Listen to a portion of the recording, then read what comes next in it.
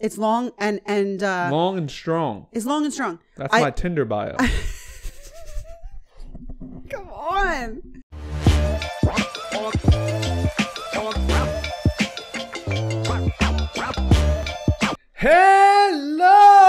Hello!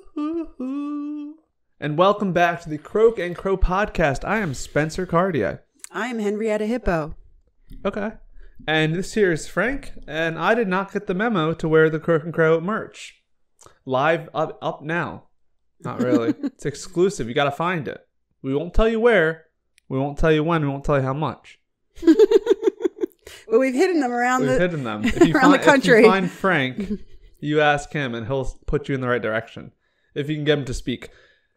Anyhow, what's up, guys? It's been um, a whole one day. It's been a day, It's been 24 hours. And 26 um, hours. the sun has risen on a Thursday. Again, thank every day I wonder. I'm like, is it coming up today? I never wonder. Really? I don't even need a rooster to tell me. You don't need a rooster to tell you? Mm-mm. Do roosters really do that? Like, do roosters really? Okay, so What's the truth about the rooster? this is the truth about a rooster. My truth. Your truth.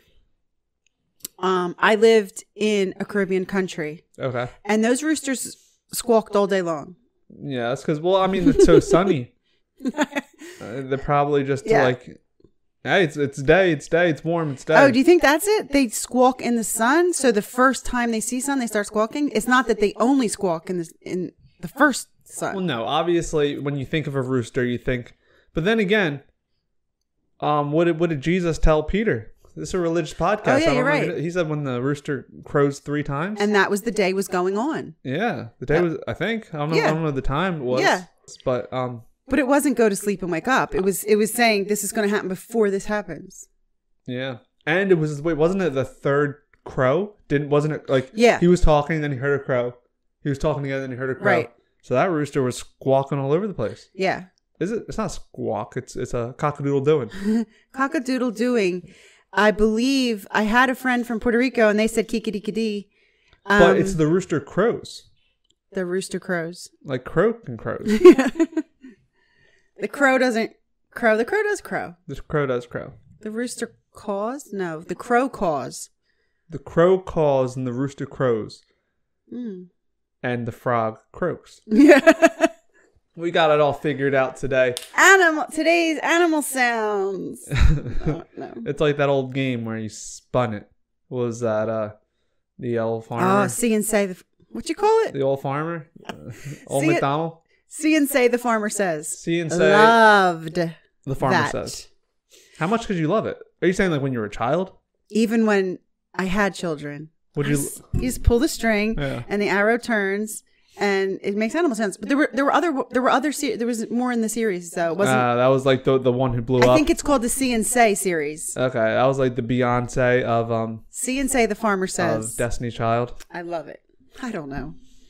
Okay, well, moving on, guys. I get it. Moving on. We're gonna do this all day. And I was Henrietta Hippo, and you you don't know who that is? I also don't know what the sound a hippo makes. Murder. I think they're the most dangerous animal in Yeah. whatever country they're in. Henrietta Hippo is an old time. It was a kid. It wasn't. She was a character in a kid show. I'm trying to remember what show it was, but she wasn't a cartoon. She was a um, like a mascot type. Okay, so it was like a, a person show, Yeah, like the, lady with the big red chair, right. or like read between. but there the was a lines. bu- like there wasn't just Henrietta Hippo. There was Ah, so she was the Beyonce of Destiny Child. no, it's just the one I remembered. But anyways, Any any ga- any farmer, anyhow, farmer, um, Farmer Day. it's Farmer Day. Not really. It is May twentieth, Yeah. which is still my birthday month. Mm-hmm. So did you get me anything? Don't even worry about it. I have everything I need. You know what? I'm looking at these glasses. We have a lot of stuff from, from days past in the studio. And these glasses are happy birthday glasses. Why did I not wear these for my birthday? Frank Actually- had them on, didn't he? Oh, for my birthday? I think so. Yeah. I'm losing it. I'll- You're, you're I'll- older now. Yeah, 25. My mind is um, slipping away from me. I kind of like them. Is it uncouth to wear sunglasses during a podcast? If we were an uh, audio only podcast, no one would ever know. I like it. I thought you were going to say, is it uncouth to wear sunglasses inside? And I know people have thoughts about that, but I don't think people would care one bit if you had them on during a podcast. I keep sunglasses on side because the sun never sets on a badass. What? I heard that somewhere. Did you ever hear this? I wear my sunglasses at night so I can, so Okay, I we're gonna copyright struck. You can't even sing songs? What? You're not allowed to sing them? I wonder. I mean, Because people do covers. They're there like, uh, yeah, but I think you have to like credit the people. And I mean, just speed it up. yeah, or change a word. Isn't that like uh, not, isn't there loopholes? I wear my fun glasses at These are fun glasses. I'd, I'd say they're more fun than they are sun. They're pretty dark. I go polarized only when I'm wearing my glasses. You have sensitive eyes. No, the opposite. My eyes just don't work. I can stare at the sun. Aw, Yeah. you're crazy. Do you know you can get sunglasses like Ray Bans and they're also prescription? yeah, of course. That's like that's when you know you made it. I think when you can put on sunglasses. Like I'm not saying those glasses that like change color as the sun comes out. Transition Yeah. lenses. No. I know. I almost did it. Um, Really big spender. Hear that, Frank? um, yeah, you can definitely do that. I think you're supposed to do it if you need glasses. And I guess I may, like imagine if you were legally blind. yeah, because Yeah. if you have contacts on, you can put glasses, sunglasses over. But if you don't, if you But if walk you around with glasses and you know, then some I've seen old people do that. They have on. glasses over glasses. Yeah. Have you seen it? No, I've done it before. People have done it, and they also um they put the clip-ons. You Ah, that? yeah. No, I do it when I'm driving because that's the only time I wear glasses. Because any other time I don't need to see. I prefer not to see. Okay. Um, the world's an ugly, ugly place. I'm waiting for you know my real eyes to be opened in the Real eyes. afterlife. Realize. I realized that what is it? Realize, real eyes, realize, real lies. Oh, Mhm. I didn't know the last part. Yeah, Okay. yeah. You see right through those real lies, and you realize what those real Your lies. X-ray vision. Yeah, X-ray vision. If you could have one superpower, what superpower would that be? X-ray vision. Really? No, no. Oh, that'd be awful. I want like vision to have like MRI everyone- vision. I want vi- like the opposite. I want like everything to be covered up more. Oh my gosh. Um. Ooh, I don't know. You don't want to be able This to is such a hard question. I could never answer it. You want to be able to fly, Fly? How about if I could float? like not fly, but just like three inches above. No, I meant in the water. That's not a superpower. That's just a skill you can learn. like without learning it. Like So you want to give up? even the best floater in the world, he probably couldn't be thrown off a ship in the middle of the deep Atlantic. Oh, you just want to be completely buoyant, like uh, like a, a piece of driftwood. just buy a life jacket and wear it all the time. Also, to what end am I floating out there? Like no help is Yeah. coming. I would keep trying to like. and, and you think it's great until you like try to take a bath and you're just like floating on top of it. You jump into the pool, No, you just hit. I was gonna water. say the bath. You you would just take a shower, nobody would know. Yeah, but can you imagine at, at a pool? yeah, what if you can't take? Like, does it mean that you're hydrophobic or is it hydrophobic when things like jump off you? Oh, if you can never, if you can never. Um, So the water just slicks off you in the shower, and then you're like cursing the imagine genie. you right. Imagine you pick something and you didn't think about all the implications, and it's such a regret. Yeah, like imagine you were able to fly, but the only like when you think about flying, obviously you're completely take taken unless you have wings, you're taken Mm-hmm. out at gravity, right? Yeah. Now, what if you can fly, but the only thing that loses gravity and is your propulsion is like your head, and your body doesn't just all magically go with it. So your head is literally dragging you around, or like your hand. It'd Yeah. be so goofy, and then yeah, you think, I know. should I do it? I. Um, what superpower would I want? I would say to be invisible, but I already feel that way. No, let me think. I want. I, I once thought I'd like to be. Um, what is it? T- not what, what's where you can read minds. yeah, I know. I want to say. saying. keep on to say telekinetic, but I think that's where you can move things. Um, yeah, I know what you're saying. but I think that would backfire off. Like I think you would Mm. not be able to be around anyway because you you can be around the closest person, and you'll just have a bad thought about. How about them. have the Midas touch? Did you not read the story? I've got the Midas I'm pretty touch. Didn't he like touch his daughter? Everything I touch turns to she gold. turned to gold. Okay. Yeah. uh, Well, maybe you could you could control it? Yeah. Nah. Make money. Oh, you know what? I, what movie is that? Looper. I think I'll I choose that one. That's where he can teleport, and so he looks at pictures of like the pyramids, and then boom, teleport. Oh, in there. different times? the pyramids just- are still there. no. I know that. I'm saying so it's current time. So he he teleports from here to Egypt. yeah, it's a boom. It's You, 2021. know, you can teleport inside of a Mhm. bank, take some money. oh. Um, you can teleport. You know, like Yeah. you want to snowboard in the morning, you teleport to Aspen. You want to surf at night, teleport to you know, um, Hawaii. Hawaii. How about you could heal people? Yeah, that'd be cool too. That'd be so tiring. Yeah, and it would also be Imagine there's a never ending line. Yeah, it'd be mentally draining. Yeah. because even when you had the power, you would not then have the time, No. and so there'd be people begging, like my Mhm. daughter, my daughter, and it's like you can't physically heal everybody. And then That's to- why I don't like this game. well, you could have chosen. You had to bring up the dark ones. Like I said, I'm just I'm teleporting to to the pyramids of Gaza. Mm-hmm. Is that one of the where the pyramids are? I don't know. Maybe. I think that's a dangerous place. The Gaza Strip seems like it's always in the news. Yeah, maybe it's just on my mind. Maybe. Um. Anyway, that's a wait. Wait, wait, guys. Down in the comments, let me know what your superpower is, and I'll tell you whether it's dumb or whether it's a great superpower. Ooh, maybe. Hmm. Never mind. Any How about like fire? What about like the X? uh, like like Men- like the avatar, like to um Oh. be a bender. yeah. Yeah, but my thing is this, because like some people say, like, uh, oh, um, I want to, I want to be able to run super fast. I want to be super strong. My thing is, you'd want something that you use a lot. If you could fly, how many times do you need to fly somewhere? You don't. It would be very cool for the first day. You'd fly in the air and you'd come down. But would you do it every day? Then, like, are we still living in a world where no I one know. has superpowers? That's why all of it is it's just too hard. Well, that's Like, why I like my teleportation. maybe you could just fix a flat. Well, you're gonna get a job as a mechanic. No, just if if it ever arises in your life. That was like um, what, what was that? What was that uh movie?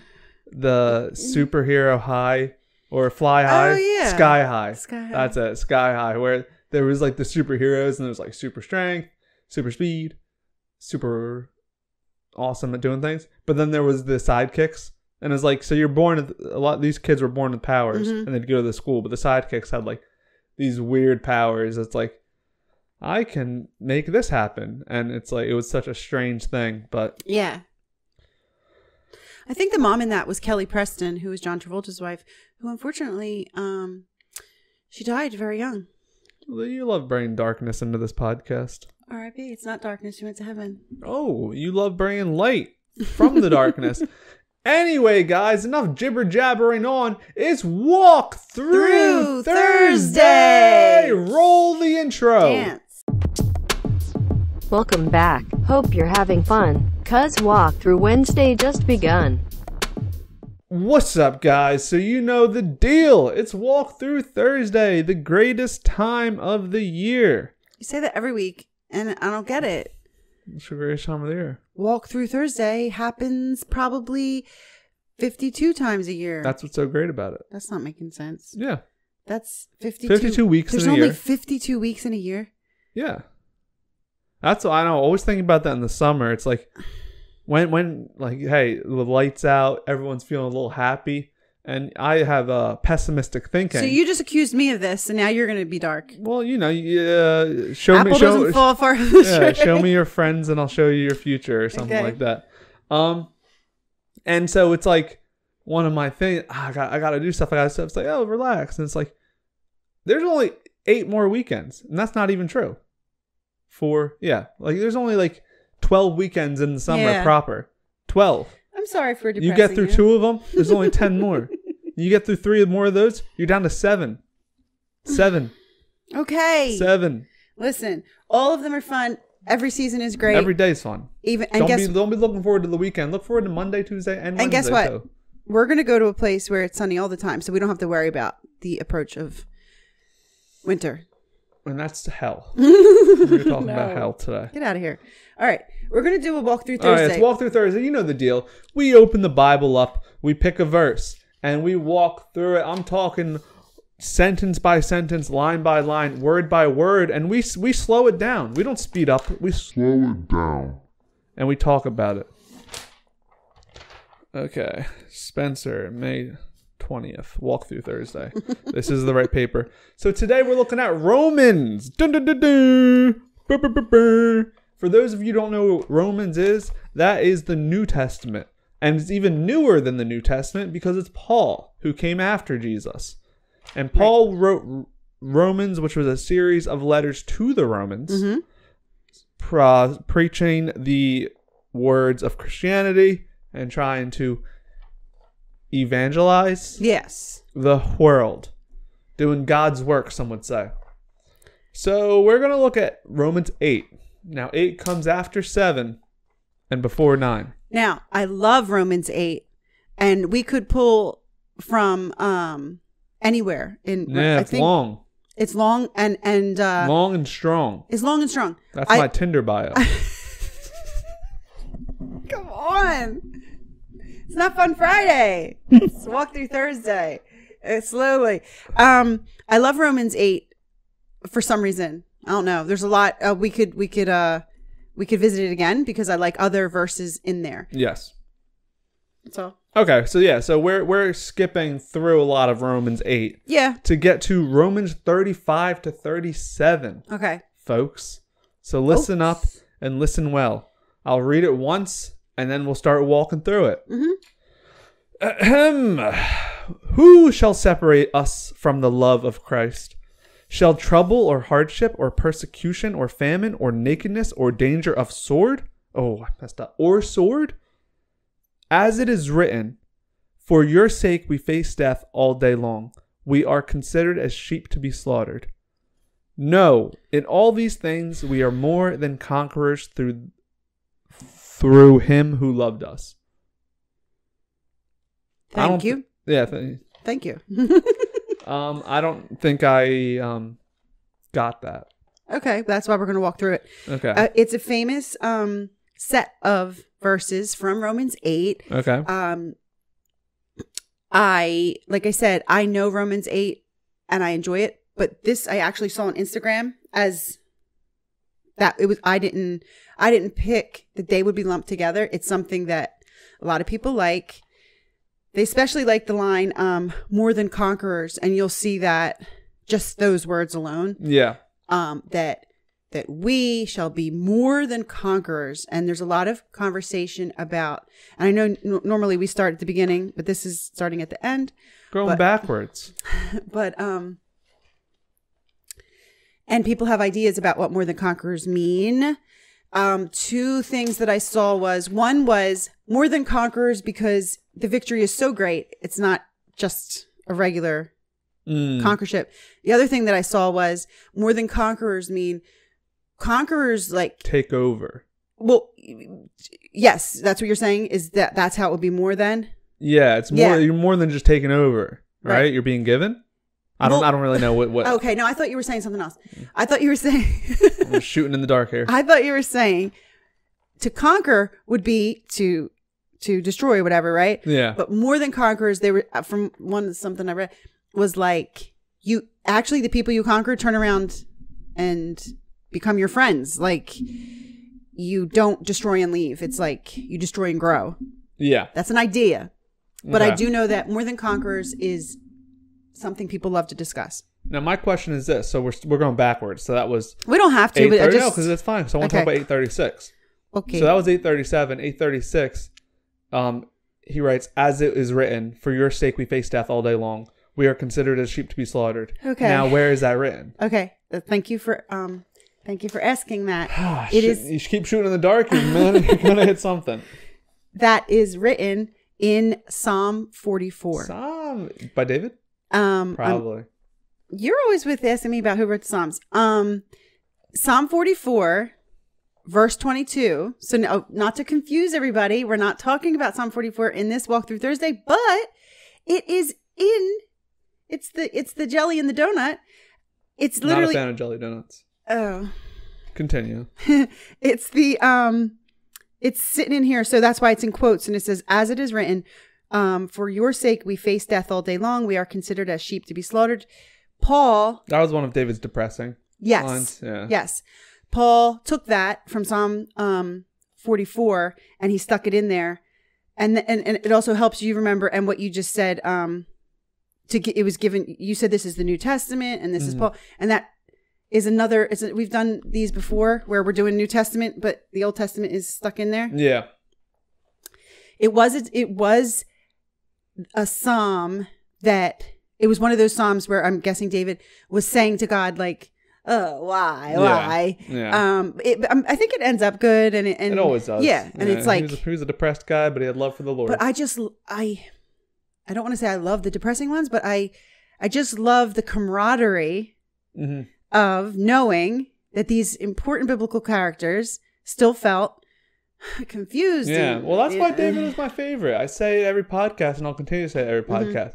That dude went through it. Like he had some moments where he's like, "This is terrible." Blah Yeah. blah. blah. And a lot, Yeah. a lot of the psalms, would yeah, would would go like that. We are con- like we face death all day long. We're just sheep ready to be slaughtered, and then.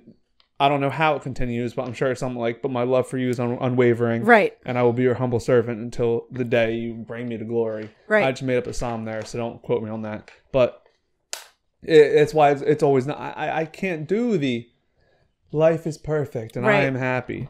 No, thank you. So we got that. We got that. Now can we walk through it? Because I'm still not Yeah, sure what I'm what. I'm reading. And so if I'm not sure what I'm reading, I'm sure a lot of you guys Okay. are not.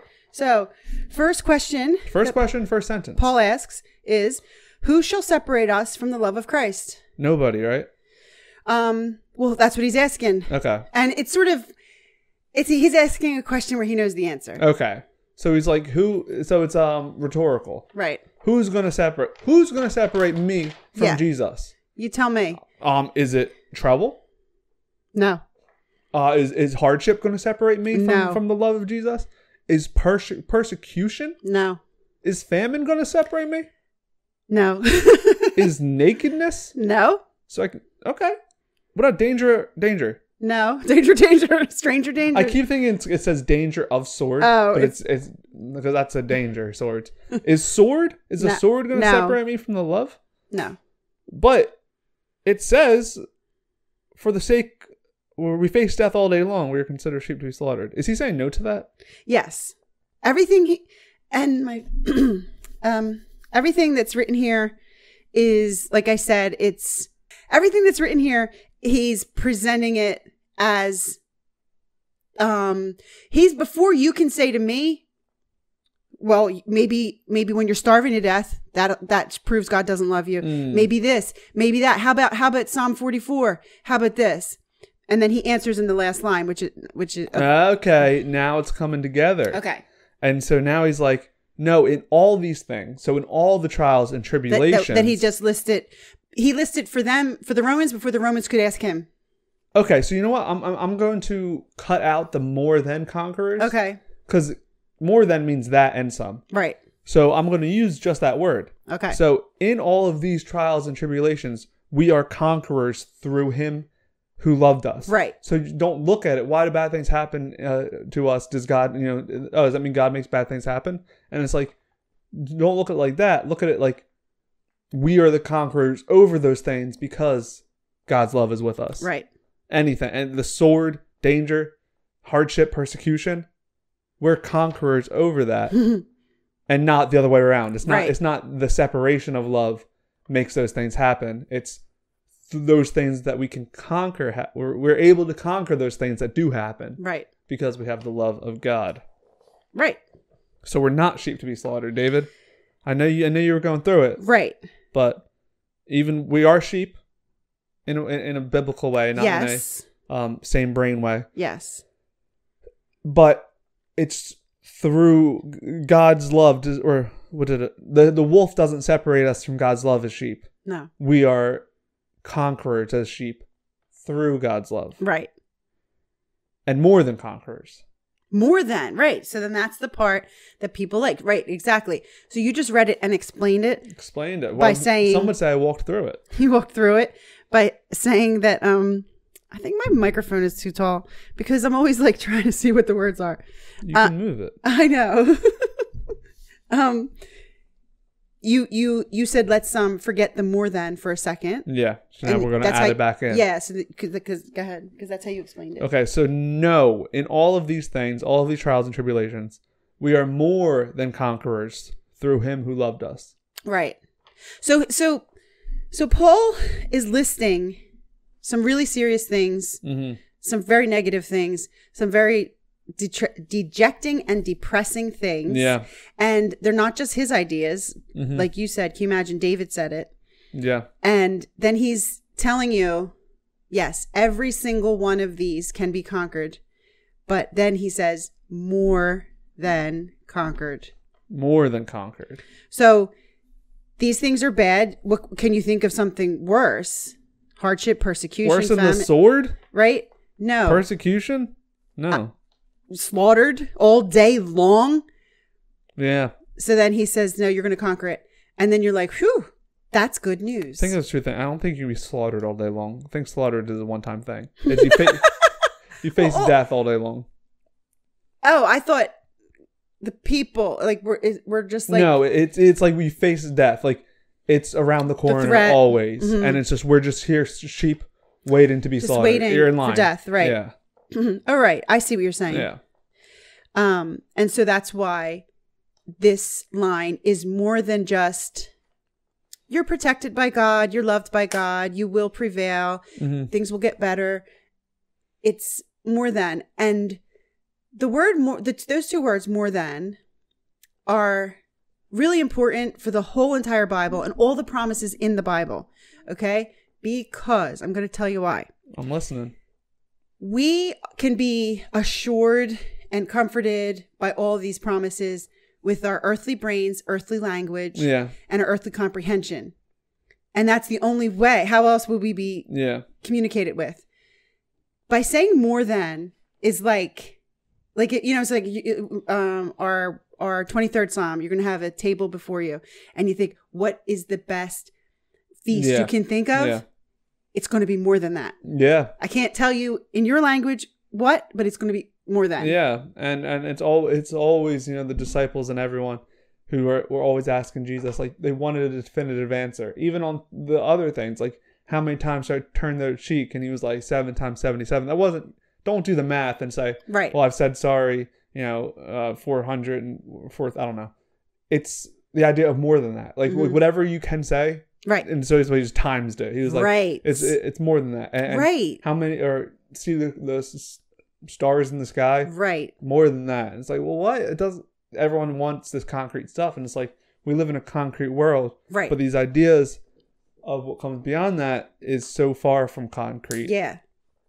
And um, yeah, and and and it's a lot of the Bible is like that, and so a lot of there's people who they want the Bible to be still concrete, Yeah. and they don't like the idea, but I like it in a way. I think you do. Like even when uh, God said, like when Moses was talking to God at the bush, it's like, oh, well, who are you? It's I am, I am.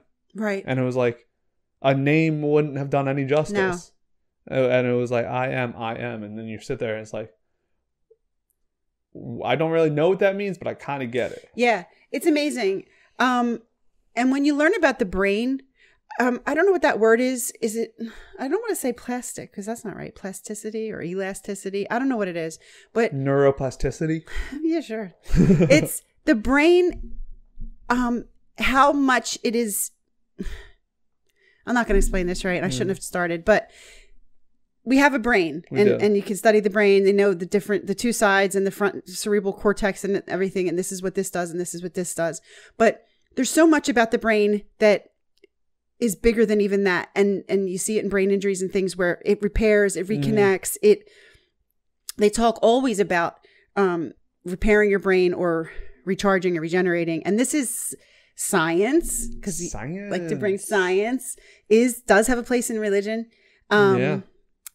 And so when you were just talking so the brain in our head and then you think about the all of um, spirituality hmm how you just said it's um it, it, it's bigger than it's so big and so it can go in so many directions and can Yeah. and can be and can be rewarding in so many more ways than could be written into a textbook Yeah. Now, do you think Michelangelo's um, creation of Adam in Sistine Chapel, do you think that he meant to make it look like a brain? I don't think he meant to make it look like a brain, Really? but I. Oh, really? Is it true? Because I don't know the history. Well, he he was known for cutting up cadavers to understand the human, Really? the human body more. So he would know what a human brain looks like. But I wonder if he still did it unknowingly, Are you saying divinely unknowingly? divinely unknowingly. Okay, so you're saying He had the ability. you're saying it, it- what is there is meant to represent a brain in some way, Yes. but he did not see it at the time. yes. Okay. And I'll tell you something, because I paint. Yeah, you used to paint on the show. I used to paint on the show, but um, they were bigger pieces. I paint very teeny tiny, like one inch by one inch pieces, Mhm. and um, a lot of times, I I don't know what I'm painting, but when it's done, it looks like something. Mm. Um, you know what I mean? So Yeah. that's what makes me think about a painter who would paint that. He would have had the knowledge of how to. You said he studied bodies and brains, um, and I think it's what makes a lot of his work so very special because it's so layered, full of Yeah. meaning. Yeah. Do you think it does? You I brought do. you brought it up. You you think he said, "I'm going to make this"? Yeah. I, With I, I think he was Easter egg. smarter than his time Okay. and also more open minded to religion. And so um, there's a I, I that's a podcast on its own about the Sistine Chapel ceiling and Michelangelo. But this today was walk through Thursday, guys. And we walked through it. We walked through Romans 8, 35, 37. Check it out. Check out all of Romans 8, yeah, if anything. Check out all of the Bible. not by tomorrow, but by tomorrow. have have homework on the desk tomorrow. But that's our podcast, guys. It's been fun, a little too fun. Maybe maybe tomorrow might be a little more not so fun. Just kidding. It's fun Friday. Whatever kind of energy we have today, we just have to amp it up tomorrow. yeah, So yeah, like, subscribe, and share. Um, tell your Bible reading cousin to check us out. Tell your not that into religions aunt also check us out. We're, we're this this lunch table is open to everybody peace, love, prosperity, love of Christ. Um, get rid of all that trouble, hardship, persecution, famine, nakedness, danger, sword. Because you know why? And all these things were more than conquerors through him who loved us. Peace.